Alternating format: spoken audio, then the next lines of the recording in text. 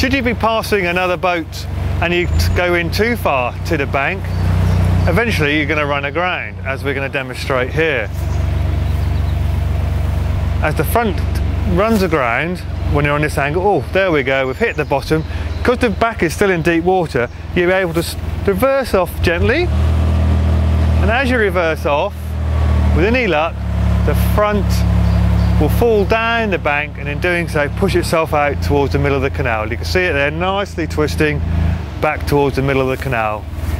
Once you wait then for the boat to drift across, gently re-engage forward gear and off you go again, nice and carefully, just steering a very gentle angle away from the bank. If you start to steer quickly to the left hand side, of course, you're going to push that back straight into the bank. If you find that you're going to run aground again, you will grab your pole and push the back off. But you can see we're going now forward just a very gentle angle away from the bank so she doesn't run aground again.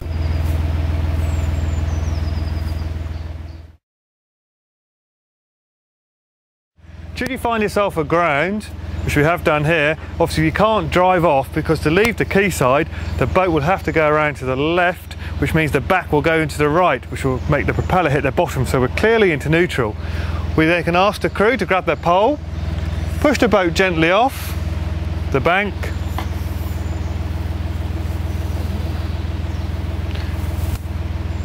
nice and square,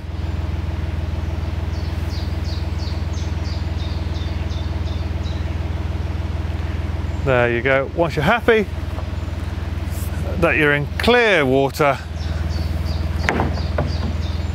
grab your tiller, Gently squeeze the trigger, off you go, nice and slowly.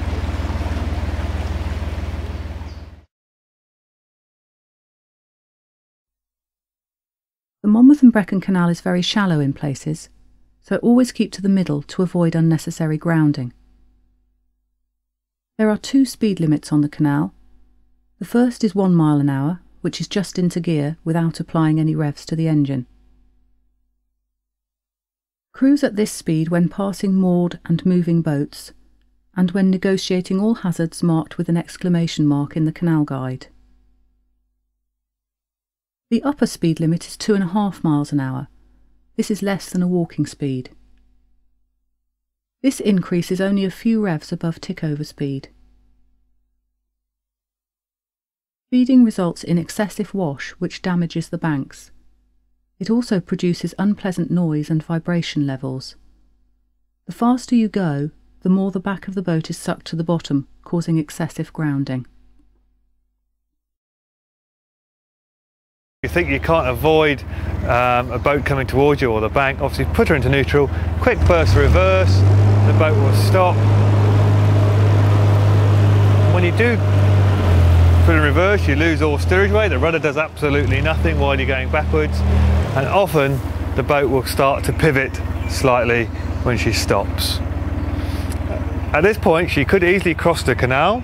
If that was the case you can grab your poles off the roof, push yourself back, down the middle you go. But to show how effective the boat is, if you put your rudder hard across, hold it there, put it gently into gear, push her in a few revs, the boat will pivot very nicely from the middle, as you can see there, without going forward. Again, we're down, down, pointing down the middle of the canal, ready to go. There are some tricky bends and bridges where you'll need to help the boat around so that you don't hit the stonework and damage your boat. Should you come to a nasty bend all marked with exclamation marks on the John Norris guide and it looks like it's going wrong, the golden rule of course is to stop using reverse, grab your pole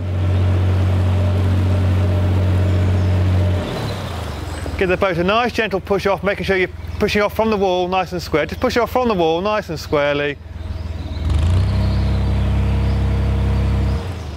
Watching that the end of the pole does not get caught underneath the cabin roof or get in contact with obviously the glass windows in the front door. Thank you very much. Nuts and us, there's plenty there. And off we go. Never hold the pole in front of the boat. It's not capable of stopping 10 tons of steel.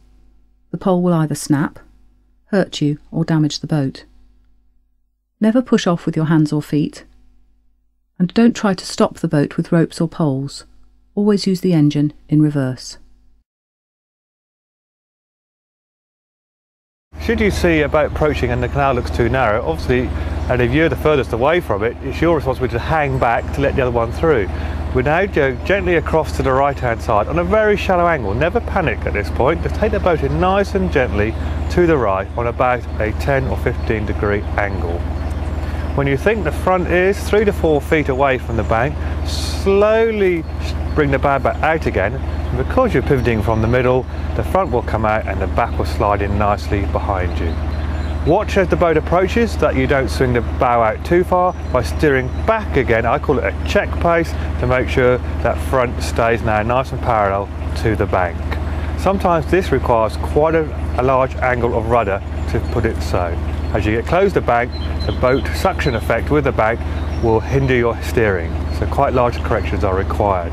As the boat goes past, you can slowly bring the front back out again, but watching the back all the time because remember you're pivoting from the middle and as the back closes the edge start to straighten up your steering.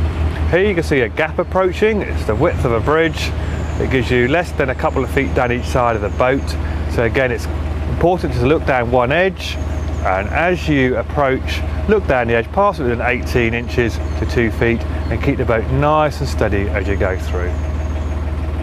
Do this all at low speed.